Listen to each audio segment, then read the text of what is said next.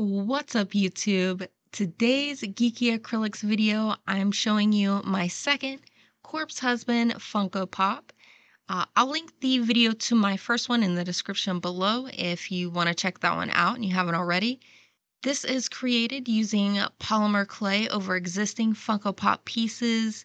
This was done to create a mashup of Corpse and his and his Tribe 9 anime character this is supposed to be similar to his Twitter profile pic, if you've ever seen it, where it's like half corpse face and half um, his Tribe 9 character.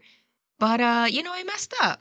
Um, here you'll see I'm sculpting a uniform. I'm to show you clips periodically of this Funko body in the character's uniform that I spent all the time sculpting that um, you're not to see in the final product. It's it's tragic, really. Um, he was supposed to be in the uniform standing on a brick base to match the baseball setting because, you know, Tribe 9 is like this futuristic baseball game played on city rooftops.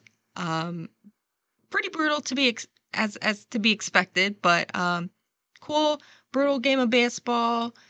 And unfortunately, I, ma- I made an oopsie. I think the base came out really well. I love the mask, but uh, I had to scrap the body completely. Um, I learned early on in my adventures with polymer clay to always check and make sure that the heads and bodies fit together before baking. And, and I did. Um, because once it's baked, there's really not a lot you can fix. Um, but even though I checked and it definitely fit before baking, what I wasn't careful on was how I placed the head in the oven. Um, now, if you're not familiar with polymer clay, you bake it in an oven and it actually gets in a you know, softer, more fragile state before you actually take it out and it cools and hardens. Uh, so during that time, I didn't think thoroughly about how I placed it in the oven. And even though it fit beforehand, um, the weight of the chin part of the mask sagged a little bit um, while while baking. So it, it got super hot, obviously. And the clay softened and it kind of drooped down a little. It was so unnoticeable. Like I didn't even notice it until I was already painting. So basically, that kept the head from fitting on because the chin was tilted down and it was blocking like the chest part. So it would not, it was not going to work. Uh, I probably should have taken a clip to show you guys, but I was devastated and I didn't have any Funko bodies that I could sculpt on, and the head still fit. Um, there just wasn't much space left.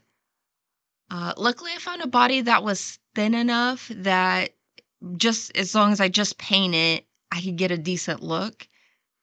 It's just unfortunate that I couldn't sculpt the outfit that I wanted and, and make the uniform more accurate to the show. Um, but I had to make the best of a tough situation. Like the mask took count. Oh man, there it is again.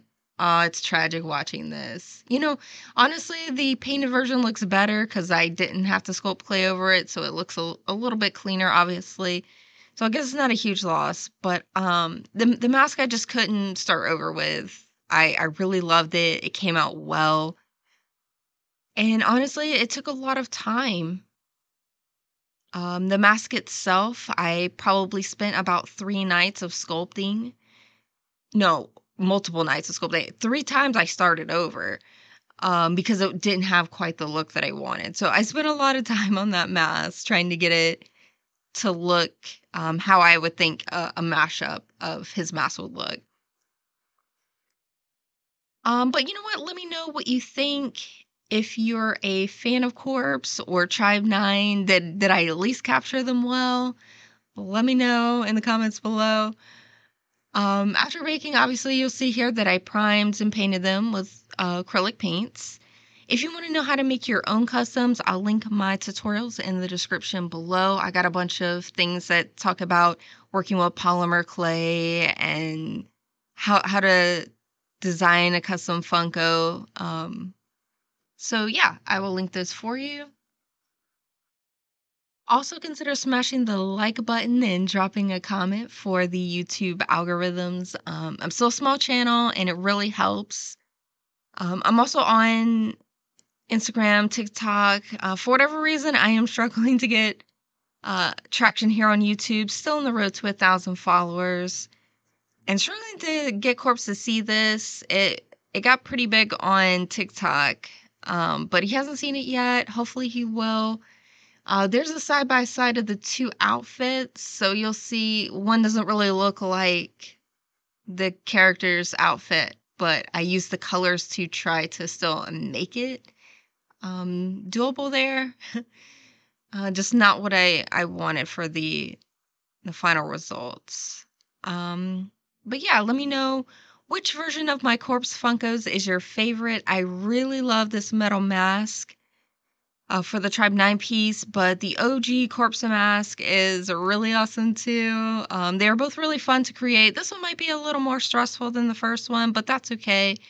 Um, I treat every problem I encounter in in art as just a learning experience and and just grow from it. So yeah, uh, I'm going to leave you with the final shots. I hope you enjoyed and we'll come back for the next video. And if so, I'll catch you on the next one. Bye bye.